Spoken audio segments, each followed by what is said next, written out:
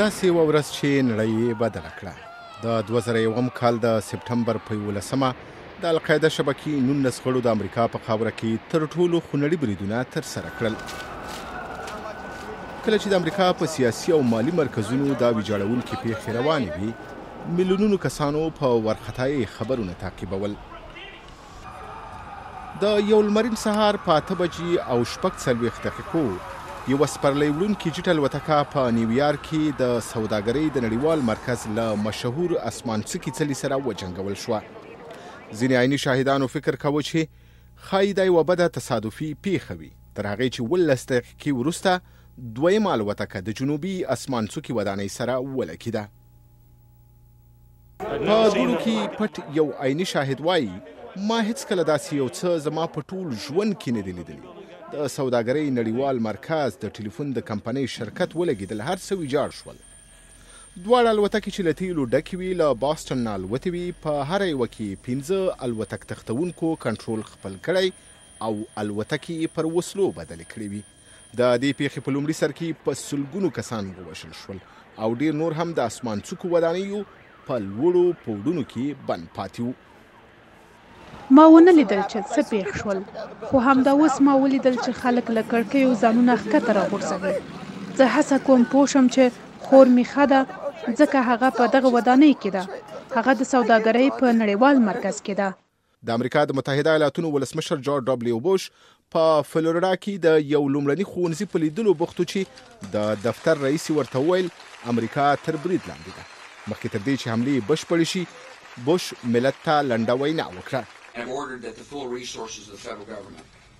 ما د فدرال حکومت ټولو ادارو ته امر کړی چې له قربانیانو او د هغوی له کورنیو سره مرسته وکړي او د هغو کسانو د موندلو لپاره بشپړه څېړنه وکړي چې دا عمل کړی دی.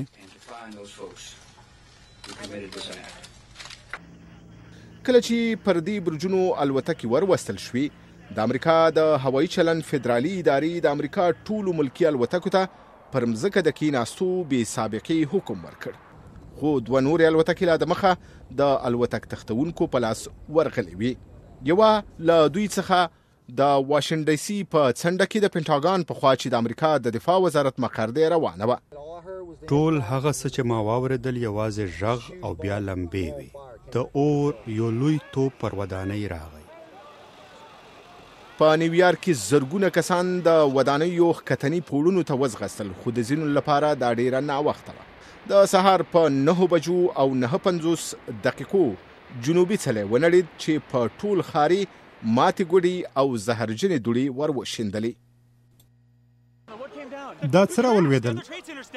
دا ټکر و د تجارت بل مرکز را ونړېد هغه نړېدلی نسکور دی په وروستۍ تختول شوې الوتکه دري نوي الوتنه کې ناستې سپرلۍ د خپلو خپلوانو لخوا په ټلیفوني تماسونو کې د مخکینیو بریدونو څخه خبرې شوې وي. د دوی یوې ډلې هڅه وکړه چې د الوتکې د پیلوټ په خونه یرغل وروړي او له بل هدف سره د الوتکې د جنګولو مخه ونیسي په دې شخه شولانګه کې الوتک تختونکو الوتکه پر پوز راخکته کړه او پنسلوانیا کې په یو کرونده کې نسکوره شو چې ټول سپاره کسان پکې ووژل شول د سهار په لس نیمو بجو شمالي دنګه ودانۍ چې لومړنۍ الوتکه ورسره جنګول شوې وه هم راونړېده د دواړو اسمانڅوکو ودانیو په قربانیو کې سلګونه وروژونکي پولیس افسران روغتیایي کارکونکي او ژغورونکي شامل و چې د الوتکو د لګیدو له پیښو سمدستي وروسته د ملکي خلکو د مرستې او ژغورنې لپاره دغلته ورټول شوي وو دا چې تر مځکې لاندې مټرو تړلې وه، سلګونه زره کسان له منهټن ټاپو څخه په پلونو او کښتیو کې وایستل شول. کله چې د اور لمبې خاموشې شوې، د لټون او ژغورنې هڅې د نړیدلو اسمان څوکو ودانیو او نورو شاوخوا نړیدلو ودانیو په ساحو کې پیل شوې. دا وحشتناک دي ویجاړی وحشتناک دي خلک هر څه کوي چې هر څومره کسان چې ممکن دي وژغوري دا به یو اوږد مهاله هڅه وي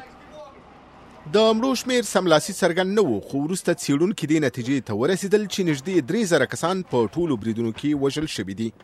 زرګونه نور په دې بریدونو کې ټپیان شول او ګڼ ژغورونکي د دوړو او لوګیو د تنفس کېدو په پایله کې شدید ناروغ شول چې ځینې یې له همدې پېښې سره د تړلو ناروغیو له کبله په وروستو کلونو کې مړه شول. هر څه څنګه روان دي؟ سړیه ستاسو سترګې سوځي، پر مخ دې دوړې پرتې دي، دا بیخي ډېر دي، له حده زیات څه دي، خدای دې نه کوي، څه پېښ شوي سړیه؟ له پیښې وروسته د امریکا استخباراتي ادارو په دې ترهګرو بریدګرو کې پنځلس سعودي عربان او څلور د نورو عربي هیوادونو وګړي وپیژندل يرغمل نیونکو چې د الوتکو پیلوټي کوله د الوتنې روزنه په امریکا کې بشپړه کړې وه دا تنظیم شوي بریدونه تر ډیره د القاعده شبکې د سعودي ټبري مشر اسامه بن لادن لخوا تمویل شوي او تنظیم شوي وو د امریکا څېړنو همدارنګه پاکستانی خالد شیخ محمد چې د القاعده شبکې غړی وو د سپټمبر د یولسمې نېټې د بریدونو د اصلي طرح په توګه وپېژنده د اکتوبر په اومه نېټه ولسمشر جورج ډبلیو بوش د القاعده شبکې او طالبانو د رژیم پر ضد چې دې شبکې ته یې په افغانستان کې پناه ورکړې وه د پوځي عملیاتو د پیل اعلان وکړ دا په احتیاط هدفي اقدامات د دې لپاره دي چې د یو تروریستي عملیاتي مرکز په توګه د افغانستان د کارولو مخه ونیول شي او د طالبانو د رژیم په نظامي وړتیا برید وشي موږ سره په دې عملیاتو کې زموږ غوره ملګري هیواد بریتانیا هم یو ځای دی د کاناډا استرالیا جرمني او فرانسې په ګډون زموږ نور نږدې ملګري هیوادونو هم د دې عملیاتو په دوام کې د سرتیرو ژمنه کړې ده د سپټمبر د یوولسمې نېټې برید په افغانستان کې د امریکا د شل کلنې پوځي ښکېلتیا او د بوش د ادارې د ترهګرۍ پر ضد جګړې لپاره پیلامه شوه چې په 2003 میلادي کال کې پر عراق برید هم پکې شامل شو. دا پیښې په امریکا کې هم د ژوند د بدلون سبب شوې. داسې یو عصر پیل شو چې امنیتي تدابیر پکې سخت او د قانون نافذوونکو ادارو واک پکې زیات شو. هغوی چې په دې بریدونو کې خپل خپلوان وژل شوي یا له دې پیښو ژوندي ژغورل شوي د سپټمبر یولسمه نیټه یې په ژوند کې د یو خواشینونکي بدلون ورځ ده چې د دوی ژوند او د نړۍ د تاریخ بهیر بدل کړ